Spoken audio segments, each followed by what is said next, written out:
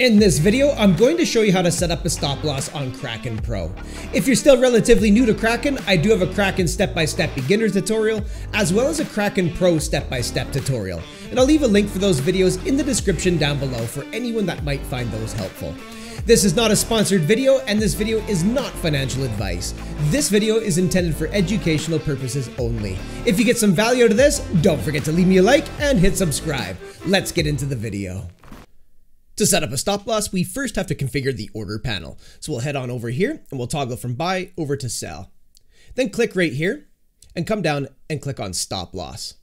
Now that we have the order panel configured, we need to choose a trigger price that executes our stop loss. So let's come on over here to the chart and let's just imagine that we recently bought some Ethereum right down in this area right here, and perhaps we're looking for a little bit of a bounce on price action. But we can clearly see that the sellers are in control right now as Ethereum is in a short-term downtrend. So maybe we want to set a stop loss just below this wick right here to protect ourselves from the possibility of price action rolling over and then moving to a lower low. So what I'll do is I'll grab a horizontal here from my drawing tools and let's go ahead and mark out a spot just below this wick, maybe something like this. Good enough for this demonstration. Now we can see a price point on the y-axis of the chart correlating to that horizontal coming in at 1,738. So let's come back over here to the order panel and in trigger price, we'll type that price point in. So 1,738. Now we need to choose how much of the asset we wish to sell if our stop loss gets hit. So what we can do is we can type in a quantity right here. You can do a total over here, or you can just simply use this slider bar right here. So I'm going to go ahead and slide this to 100% for the purposes of demonstration. When you get this configured the way that you want it, you just simply come down here and click on sell. And over here, you can see that this order has been submitted and I've now set up my stop loss. So let's go ahead and come back up here to the chart. And now we can see the stop loss in the chart itself inside this little red box. I'm just going to go ahead and get rid of this horizontal here like so.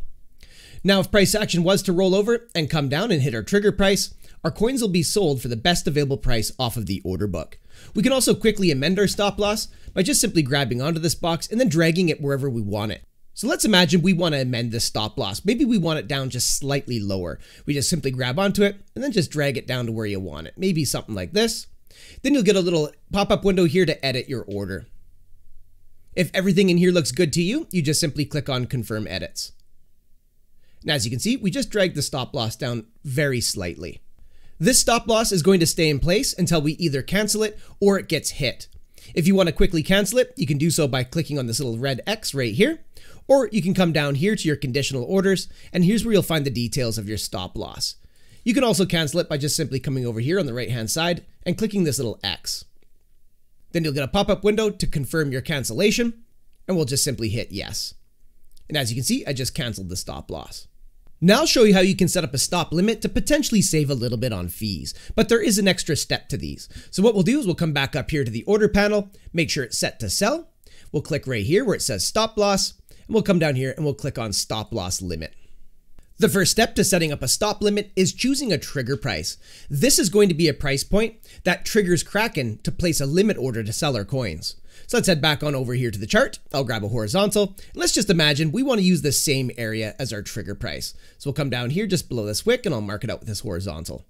Now we can see a price point on the y-axis of the chart coming in at 1,737. So we'll come back up here to the order panel and we'll type that into trigger. We'll go 1,737. If the price of Ethereum is to come down to 1,737, that's going to trigger Kraken to place a limit order to sell my coins. So now we need to choose a limit price.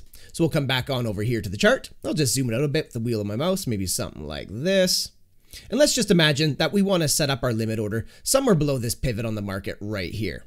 So what I'll do is I'll grab a horizontal here and I'll mark somewhere slightly below this red wick, something like that.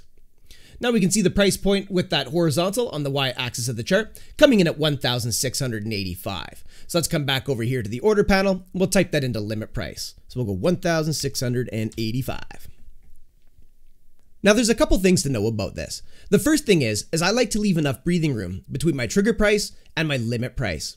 I want to make sure that Kraken has enough time to sell my coins if my trigger price gets hit.